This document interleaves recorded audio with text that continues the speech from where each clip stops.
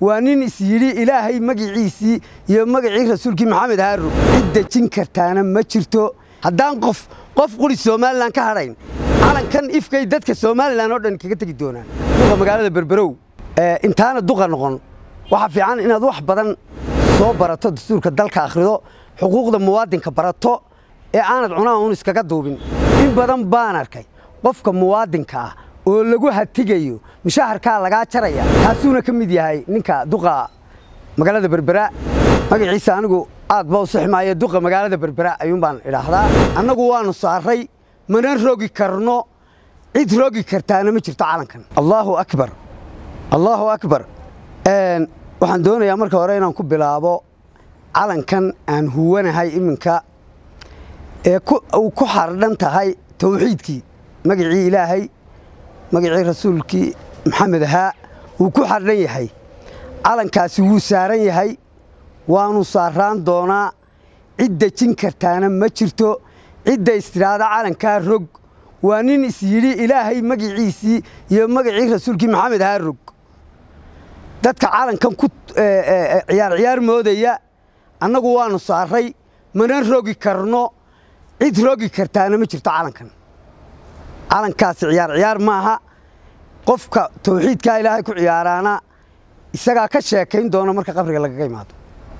Isagaa ka sheekayn doona qabiil baan raacayn hooyadii baan ka saamaxayn aabbihii baan ka saamaxayn wuu arki doonaa hadduu tawxiidkaa calankaa tawxiidkaa hadduu xaqiisa marin waayo.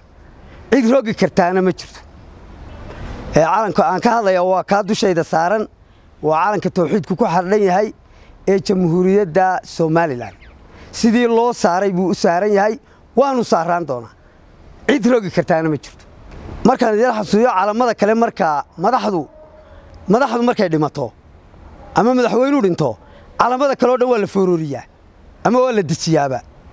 Inta ay tacsida ku jiraan dadku.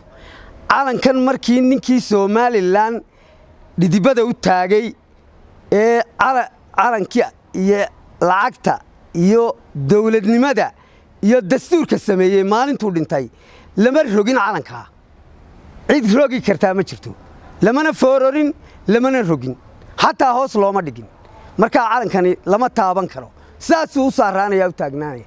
Haddaan qof qof quri somalilan ka hadhayn calankan ifkay dadka somalilan oo dhan kaga tegi doonaan. Haddii alla yadhay awoodda ama xilka qaran ee markaa la hayo in shacabka muwaadiniinta loogu awood sheegto waa shay xaaraana waa shay aan habboonayn dastuurkuna ma oggola in loogu awood sheegto markaad xil sare qaranka u hayso. Waxaa in dhoweydba aan duqa magaalada berbera aan maqlaayey mar horena inuu yidhi kiniisadaaba laga samayn doonaayo meeshan oo dhan baa laga jaasi doonaa dadkuna waa dad muslina calanka saaranina waa tawxiid.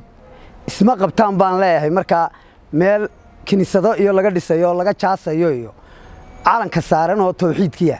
Markaa taa laftigeeda waxaan leeyahay shacabka ku noolina waa muslin jamhuuriyadda somalilan waa muslin shacabka reer saaxil waa muslin kiniisad iyo jaas toonna loogama baahna meesha. Ilaahay un baa lagu caabudayaa masaajidada lagu badinayaa calan tawxiid baa ka dultaagan baan leeyahay halkaa kale. Qofka muwaadinka ah fikraddii afkaartiisa waa u xor xor weeye afkaartiisa inuu cabbiro inuu wax diido inuu wax oggolaado inuu wax doorto. Inta badan waxaan ku arkaa ama dowladda dhexe ha noqoto ama dowladaha hoose ee dalka ka taliya ha noqoto. Qof loogu awood sheeganayo xilka qaran qofka haya ee meeshaa ka ah madaxda ahi. Hadday wasaarad tahay hadday dowlad hoose tahay hadday golo tahay la leeyahay waa waxaan samayn doonnaa shaqadaad waayi doontaa shay dastuuri maaha arrintaas. Qofka muwaadinkaah wuu mucaarad buu noqon karaa. Mucaaradku jingin maaha talaabiib kama iman. Waa muwaadin reer somalilanah in badan baan arkay. Qofka muwaadinka ah oo lagu hatigayo mushaharkaa lagaa jaraya haddaad afkaartaada cabirto adeer waxaasu ma aha wax sharciga dalkana ku yaalla. Dadnimaduna ogoshahay. Taasuuna ka mid yahay ninka duqa magaalada berbera magaciisa anigu aad ba u sixmaayo duqa magaalada berbera ayuun baan idhaahdaa. Markaa waxaynu samaynaynaa waxaan leenahay duqa magaalada berberow. Intaana duqa noqon. Waxaa fiican inaad wax badan soo barato dastuurka dalka akhrido xuquuqda muwaadinka barato xuquuqda dalku ku leeyay muwaadinka barato ee aanad cunaha uun iskaga duubin. Waa la dhaliili karaa afkaartiisaa laga soo hor jeedan karaa qofka muwaadinka ay dastuurkay ku qoran tahay waxaan intaa ku darayaa ku-tagrifalka awoodaha. Waxaa soo gelaysa iyaduna in loo hanjabo bulshada somalilan ee darafyada ee iminka karaysisku ka taaganya ama kacdoonnadu. In loogu hanjabo oo lagu takooro xaaraan weeye bulshadii in la kala takooraa. Dastuurkuna ma ogola maamul maaha madaxnimo maaha waxaan uga digayaa madaxda jamhuuriyadda somalilan inaanay ku takrifalin oo kala takoorin bulshada jamhuuriyadda somalilan gabadha awdal u dhalatay saaxil bay u dhalatay.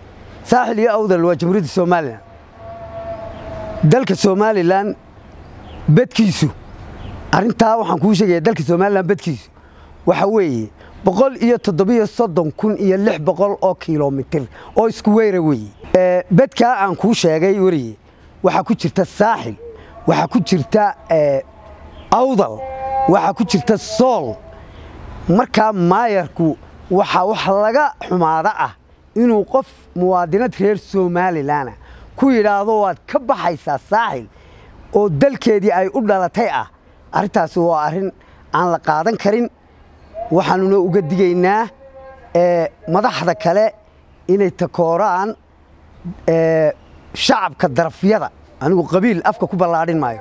Shacabka darafyada jamhuuriyadda somalilan inaan la takoorin waxbay diidi karaan qalalaasaha iminka ka socda maamul xumadaa keenaysa waxaasoo miidhan baa keenaya in la yidhaahdo qofkii muwaadinka ahaa halkan ka tag oo meel hebla tag halkan melihido umaad dhalane.